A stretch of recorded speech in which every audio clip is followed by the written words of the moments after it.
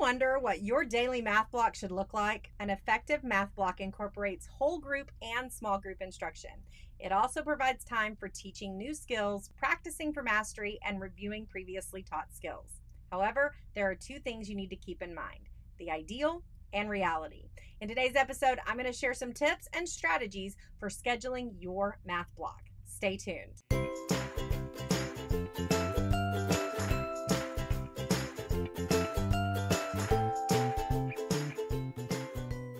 What's kicking educational rock stars? Welcome back to another episode of Teaching Made Easy. I'm Farrah, the Center Fairy, your ultimate source into the wonderful world of simple classroom systems that actually work so that you can finally get back to what you love teaching.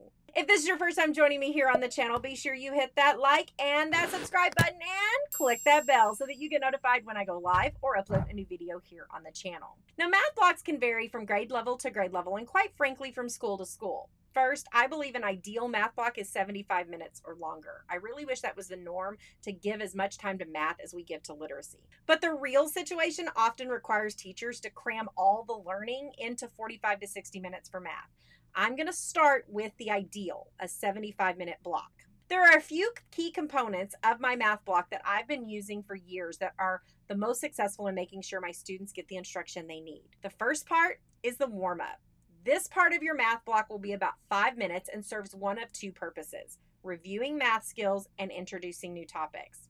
Any good lesson starts out with an engaging warm up, and math is no exception to this rule. This part of your math block should be fast paced. This is great for a quick review or a way to interest your kids in a brand new topic. Remember, you want to spend the bulk of your time in small groups and centers so that you really focus on the student's individual needs. Here are some examples of things that you can do during your warm up calendar activities, number sense activities, number of the day. You can even use one of our math centers as a warm up activity. You can project it up on the board and use the digital version whole group to introduce a new skill, review a skill, or introduce the type of center game that it is so that when they see it in their centers, they'll know how to play. After your students are good and warmed up, it's time to move to that direct instruction. This is the part of your daily math block when you are explicitly teaching a math concept. You're teaching and modeling new concepts by using think alouds and clear visual models. It'll be about 20 minutes of your block. This time is also great for some guided practice. You can use it for your students to actually practice the skill that you taught during a mini lesson the day before. It's important to be strategic with this time and stay focused on the topic. If not, you could run long and find yourself with less time for small group instruction.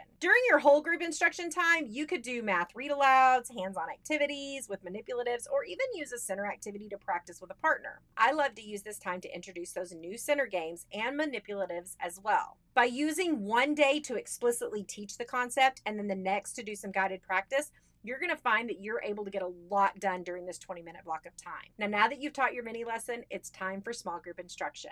This part of your math block will be the longest and will be about 45 minutes. There are a few things that are going on during this time. One, your students are practicing and reviewing math skills in small groups or with learning partners without teacher support because you are going to be focused on your small group. Students will rotate through a series of centers that are at their independent learning level. Remember, centers are for review, so don't include content that your students don't know or skills that you're teaching that week. When you do this, your kids become frustrated and they're going to be off task, often interrupting you at your teacher table. This is why we create our math centers with predictable game styles that students get comfortable with and only the skill changes. You can check them out in our shop for grades K through 5.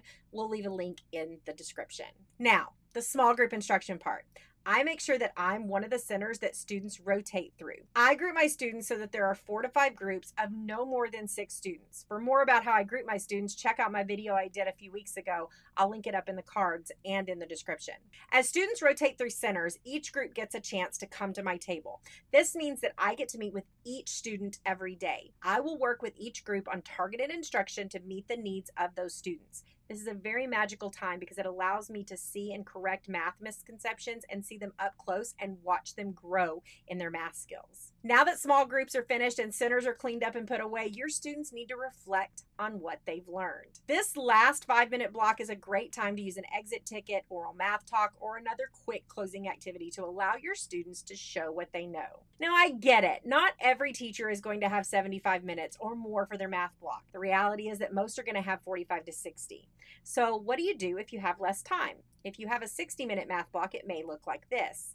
You might have five minutes for a warm up, 20 minutes for a mini lesson, 30 minutes for small groups and centers using only three groups, and five minutes for a wrap up. If you only have 45 minutes, you could eliminate the mini lesson and the wrap up, meaning that you would have to do more of the teaching inside your small groups.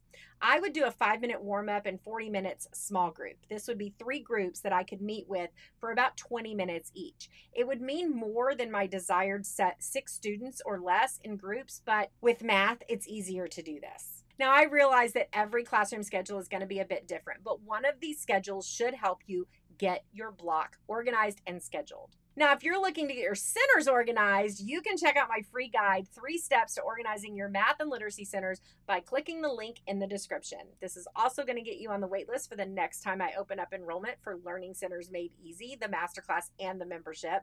And I will be sharing some great tips and resources for your math and literacy centers right into your inbox. Now, are you looking for activities to use inside your math centers that are going to help eliminate the interruptions at your small group table?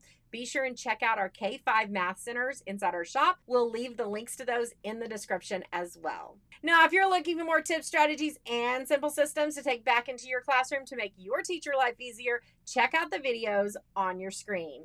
Thanks for watching and keep being an educational rock star.